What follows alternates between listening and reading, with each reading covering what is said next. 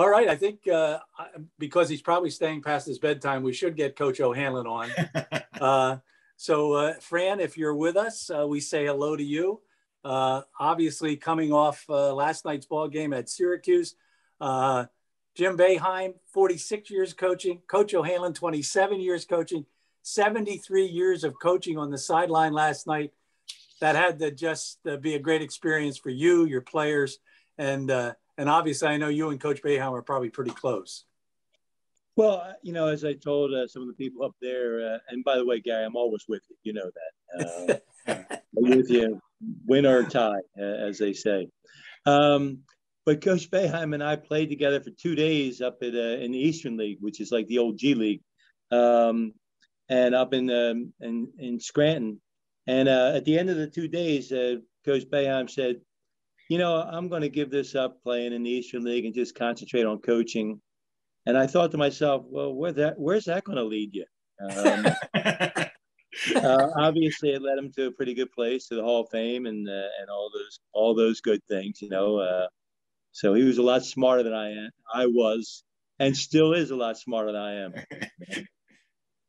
well, obviously, it was a tough ball game as it was expected to be you know, you don't just take on Coach Boeheim, you take on uh, Jimmy Boeheim and Buddy Boeheim, and I don't know how many other Boeheims were in the uh, in the center last night. But talk a little bit about what you took away from that game.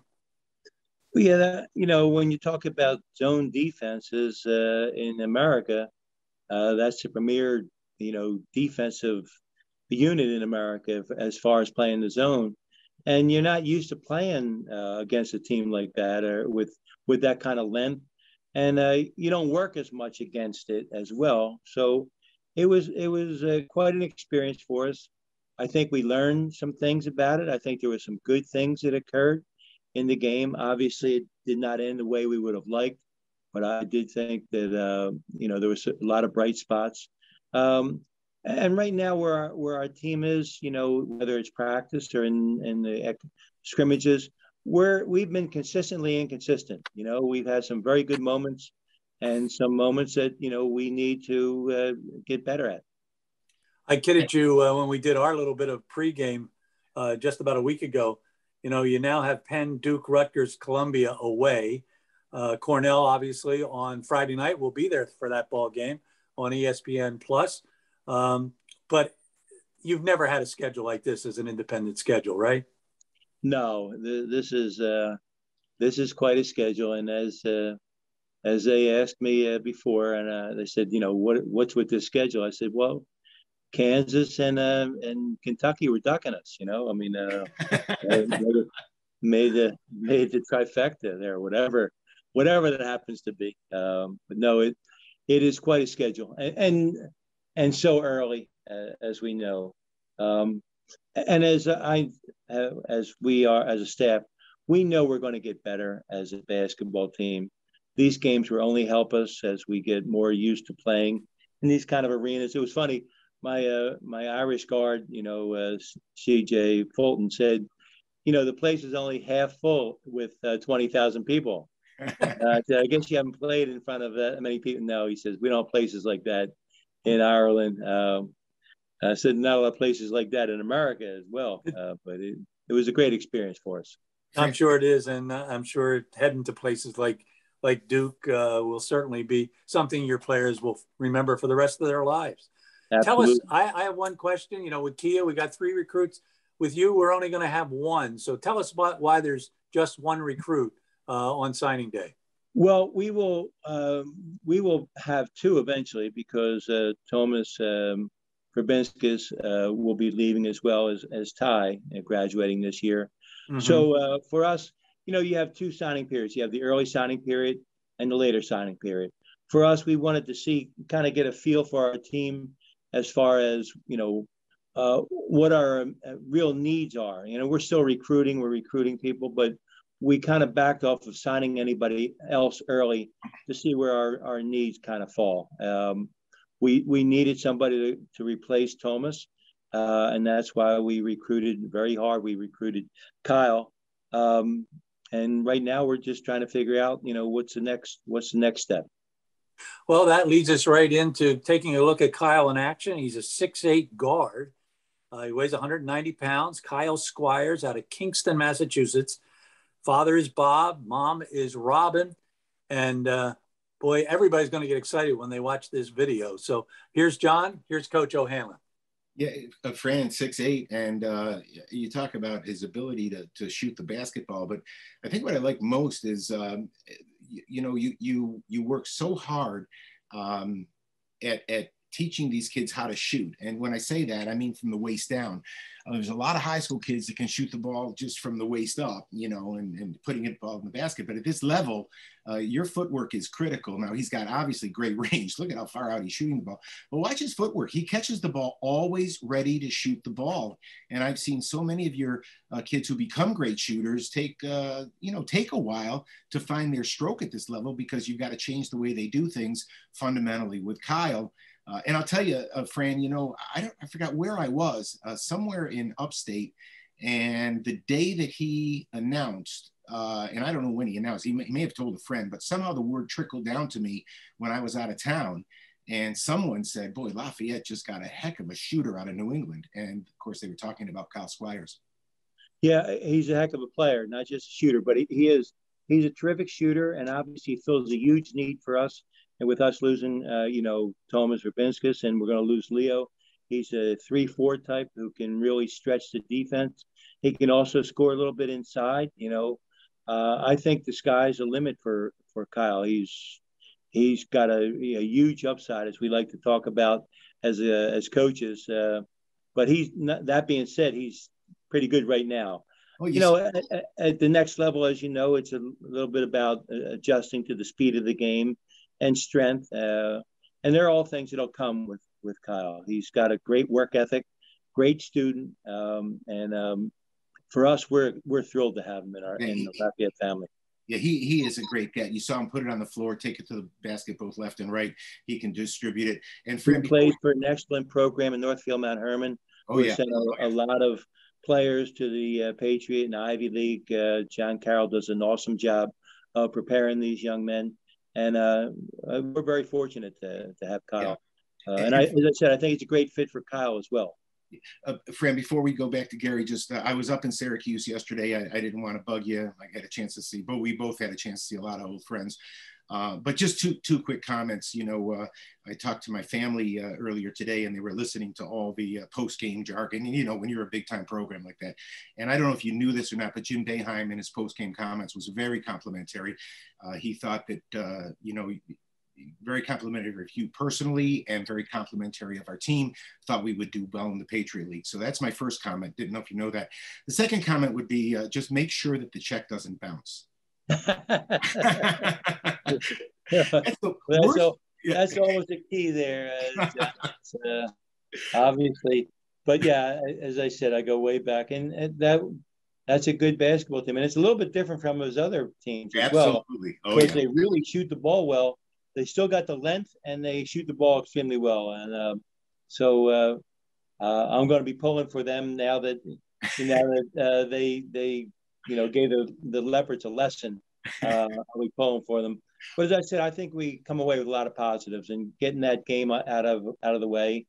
Uh, certainly, with still a couple tough opponents coming. They're all tough. They're, it's not easy winning in Division One, as I tell our guys. You know, and, and, and now, every game's a challenge.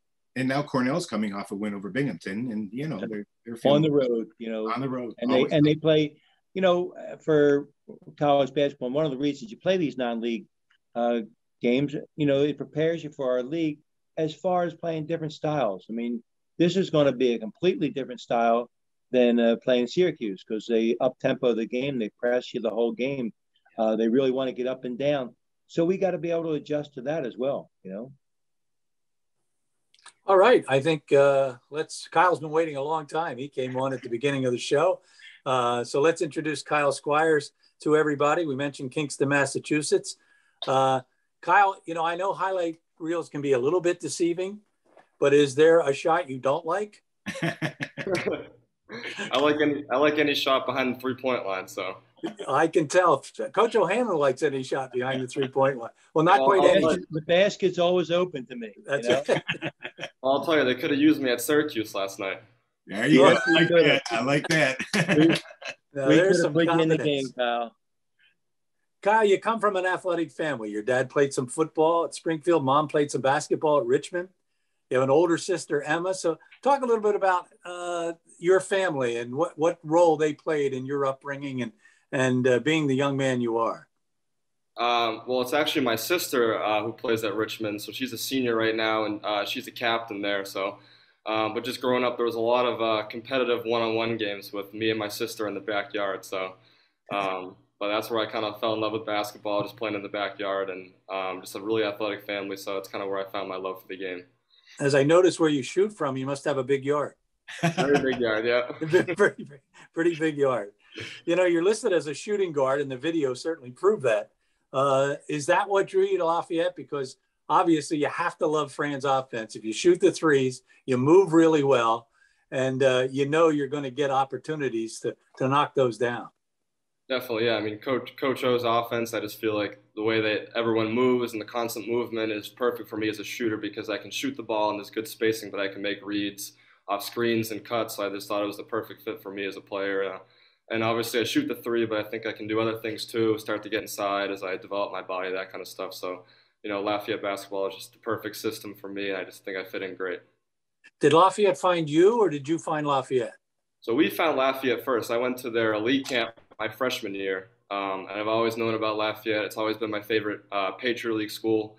Um, and it's a great combination of academics and basketball. And I just knew it was the right spot for me. So.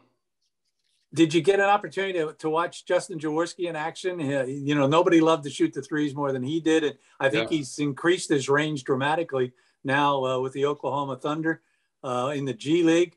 Uh, if you want to emulate somebody, that's not a bad guy to emulate. Definitely, yeah. I've definitely watched some film on him. He's a, he's a great shooter. So. Talk a little bit about academic. Two threes last night, uh, Gary. We, we could have used Kyle out there making no, a couple more of them. you know, Coach, watching that ball game just quickly as an aside, you guys had some open threes. Just you know, that's a tough yeah, place to shoot. The... At that level, you those closeouts are a little quicker, a uh, yeah. little little more length. Um, you know, but um, as I said, I think it was a learning experience for us. Well, Kyle was ready to take them on. I know. I know he was ready to go.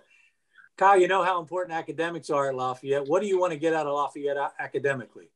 So I've always thought about being a builder and design and having creativity. So I'm definitely thinking about uh, starting my academic career with engineering.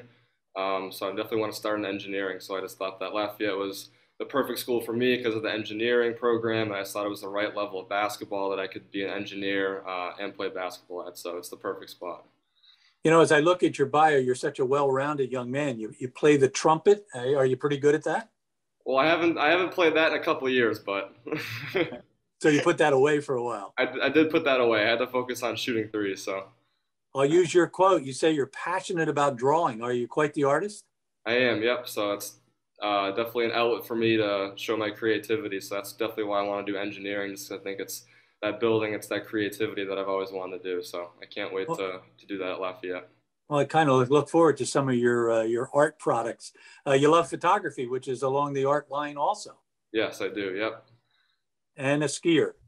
I am a skier too. Yep, I've been skiing since I was uh, I think it was four years old that uh, mom started teaching me. So so, coach, you might want to take those skis away for four years. well, we got the we got the mountains very close to us. I'll have to I had to block that off. He can't he can't go up to Route 33. Yeah, you know your luck with injuries for four years. Don't let him get on skate skis. Yeah, I'll put this. I'll put the skis in the closet for you. Good idea. I'm, I'm up for that. Kyle, we invite you to watch our ball games this year. Find out what your teammates are going to be like when you get here. Uh, are you expecting to have a, a really good senior season on that on your ball club? Yep. So it's uh, uh, NMH has had a great history of, of teams and guys, and this is actually probably one of our most talented um, year of guys. We have a couple guys going to Northwestern, uh, a guy going to Columbia. So we're going to be really, really good this year. So uh, we just got our schedule, and we have a 40 game season. Um, our first game. Wow, wow I know. Um, first game start this weekend, so I just I can't wait to get going uh, senior year and just COVID last year. I'm just so excited to finally play a real basketball season. So. And uh, Go, you sound like a terrific young man. Go ahead, Fran. He's our second NMH uh, young man. Andy Moore was our first, and he was a tremendous guy. Uh, so we're looking forward to having Kyle in the fold. Uh, we are too, Kyle. We look forward to seeing you on campus. Uh, thanks for joining us tonight. Thank you. Coach O, we get, a chance, we get a chance, Coach O, to uh, look at your ball club on Thursday night when they take on Cornell at 7.30. Uh, you mentioned Port. That's Friday night there. Or Friday. I'm sorry, it is Friday. If you night. show up on Thursday, we'll be just practicing. no, I'll show up when John shows up, so it'll be Friday night. Uh, John Cornell. Cornell's a pretty good team, so we should see a good game on on Friday. Oh yeah, they're very good. They play uh, extremely hard. They really push the ball, and uh, transition is going to be key in it. You know, they run a lot of Princeton stuff. You have Coach Earl um, back doors. Uh, uh-huh. They may have had 15 back doors against Binghamton. Um, it was uh, a sight to behold. I know Coach Leone will be very excited to see them going back door. He loves that, you know. Uh, just go the other way. you run away, run away from the ball. You know, it's interesting, Fran. I was listening to Kyle, and I, I am just partial to this. You know, we, you and I both talk about the ability to see the game, and I, maybe I'm crazy, but I just think a, a kid whose brain thinks that way, who sees things differently, uh, I, I'm excited about the potential for him to maybe grasp the nuances because you know it, it is an art form. When when you play a passing game and you have to balance the floor and move the ball and and it, it, it and so recognize and react. I mean yeah. that's uh, yeah. You know. and it, that takes a certain creative creativity. The bet brian burke was my favorite of all time. He had eyes like a fly you know just everywhere. Yeah. and he could see things before they they would happen. And uh, so i like that about kyle thinking that way. We'll see if it translates. But good luck on friday. Can't wait to be back in the gym with people. Wow. I can't wait either. Uh, it's been a great night. We certainly congratulate uh, the four student athletes who will be coming to Lafayette as basketball recruits Kay and Sauda and Emma and Kyle. And uh, thanks to Kia and Fran for taking time out of their very busy schedule. John, I'll see you Friday night, 7.30. I'll, I'll be there, Gary. For all thanks, of us on National Gary. Signing Day, thank you so much for watching. I'm Gary Labott. Good night, everybody.